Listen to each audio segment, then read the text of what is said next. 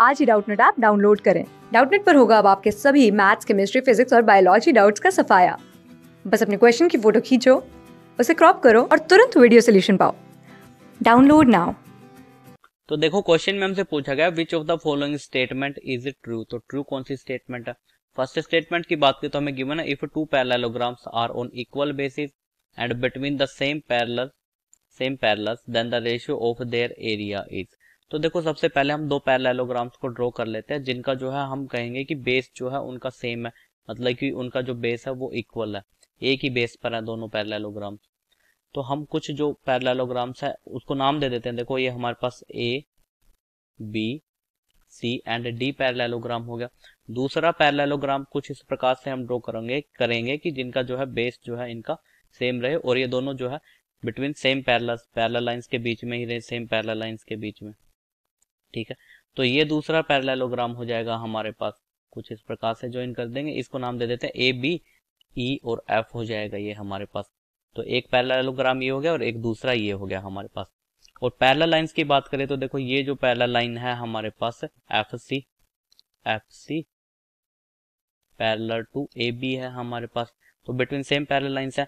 तो हम कह सकते हैं यहाँ से कि area of A B C D will be equal to area of area of A B E F A B E F के इक्वल होगा।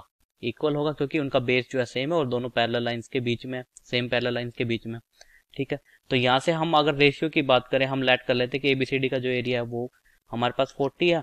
40 मीटर स्क्वायर है और area of A B E F भी कितना हो जाएगा? फिर 40 metre square हो जाएगा। तो रेशियो कितना हो जाएगा? फिर रेशियो की अगर हम बात करें ए बी सी डी का वैल्यू ऊपर रखेंगे और ए बी ई एफ़ की वैल्यू नीचे 40 मीटर स्क्वायर तो यहाँ से रेशियो जो आ गया वन रेशियो वन का आ गया। लेकिन हमें तो स्टेटमेंट में कहा गया वन रेशियो टू होगा, जो कि हमारे पास फॉल्स हो गया। मतलब कि ये ट्रू नहीं है। अब देखो थर्ड स्टेटमेंट की बात करते हैं। If P is any point on the median A D of triangle A B C then area of A B P is not equal to area of A C P हमें कहा गया median है, देखो A D A B C triangle की हमारे पास।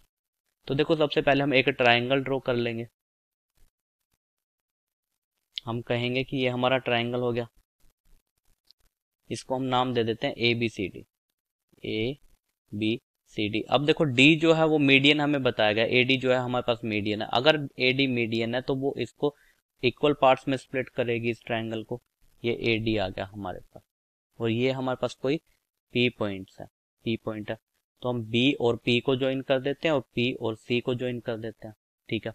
हम कह सकते हैं कि इस ट्रायंगल में जो होगा area of A B D देखो इक्वल पार्ट में डिवाइड कर रही है तो area of A B D will be equal to area of A P C sorry A D C area of A D C triangle के equal होगा। ठीक है, इसे हम फ़र्स्ट इक्वेशन नाम दे देते हैं। दूसरा, हम कह सकते हैं कि area of P B D will be equal to P D C होगा। एरिया ऑफ़ अगर ये मीडियन और पी कोई पॉइंट है ए डी पर तो हम कह सकते हैं कि area of P B D will be equal to area of P D C इससे हम सेकेंड नाम दे देते हैं। ठीक है अब अगर हम सब्ट्रैक्ट कर दे सब्ट्रैक्टिंग सेकंड फ्रॉम फ़र्स्ट अगर देखो सेकंड में से फ़र्स्ट को सब्ट्रैक्ट कर दे। सेकंड को हम फ़र्स्ट में से सब्ट्रैक्ट कर दे तो हमारे पास क्या आ जाएगा? हमारे पास आ जाएगा area of A B D में से एरिया ऑफ़ पीबीडी माइनस करना। इस कंप्लीट में से P B D P B D की बात करें तो ये ट्राइंगल हो गया तो सिर्फ़ क्या बच गया? हमारे पास ए बी और पी बच गया। तो हम कह सकते हैं कि area of A B P left hand side पर आ गया, इज़ इक्वल टू क्या हो जाएगा हमारे पास? Area of ADC area of ADC ये है राइट हैंड साइड पर, और उसमें से एरिया ऑफ़ पीडीसी हमें माइनस करना है पीडीसी माइनस करना है। तो ये एरिया जब माइनस कर देंगे तो सिर्फ़ ये ट्राइंगल बच जाएगा A P C is equal to area of A P C आ गया हमारे पास। तो ये तो इक्वल आ गया, और हमें कहा गया है कि ए सी पी और ए पी सी को हम ए सी पी भी बोल सकते हैं तो हम कह सकते हैं area of A B P will be equal to area of A C P तो area of ABP is not equal to हमें गिवन है तो ये भी हमारे पास फॉल्स हो जाएगा। ठीक है? तो ऑल ऑफ़ दीज का जो ऑप्शन है, वो भी ट्रू नहीं होगा हमारे पास, ये भी फॉल्स है, क्योंकि दो स्टेटमेंट हमारे पास फॉल्स आ गए।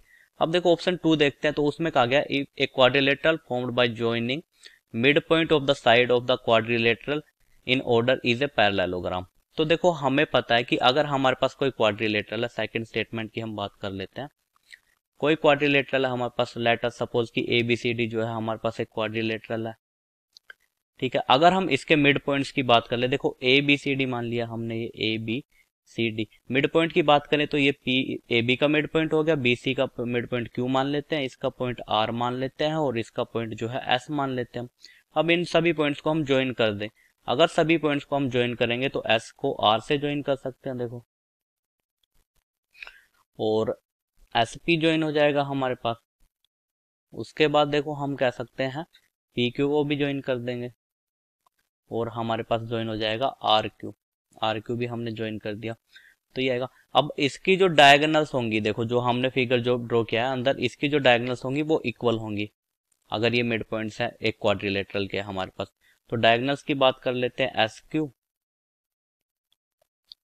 S Q will be equal to R P कह सकते हैं हम कह सकते हैं कि एस क्यू की जो वैल्यू होगी वो आर पी के इक्वल होगी। अगर S Q is equal to R P तो हमें पता है पैरेललोग्राम की प्रॉपर्टी क्या होती है? डायगनल्स पे पैरेललोग्राम आर इक्वल वो इक्वल होते हैं तो हम कह सकते हैं इस केस में कि P Q R S is a parallelogram तो ये स्टेटमेंट जो है हमारे पास ट्रू हो गई।